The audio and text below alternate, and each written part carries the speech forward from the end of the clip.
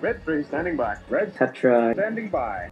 Hey, this is Barry for Aquarium Outfitters and Fish Store and welcome to Species Spotlight. Today we're going to be talking about a fish called the rummy-nosed tetra. The rummy-nosed tetra originates in South America, in the Orinoco River and the lower Amazon basin in Venezuela and Brazil, but these days many are tank raised as well. They're a pretty little fish named for the red coloring on their face, but they also have a really eye-catching black and white striped tail. The rummy nose is a very peaceful schooling fish that does well in a community tank. It's recommended to keep a school of six or more.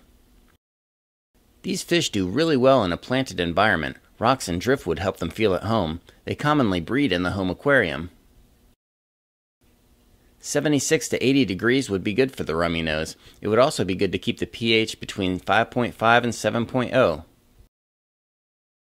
They eat a quality flake food, but they are omnivores, so it would be nice to supplement their diet with a little bit of something meaty, like bloodworms or brine shrimp.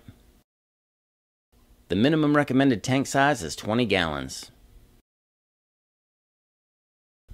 The rummy nose is a great looking little fish that would be a nice addition to your peaceful community system. So have you ever kept the rummy nose tetra? What was your experience? Comment below. And as always, thanks for watching. We'll see you next time.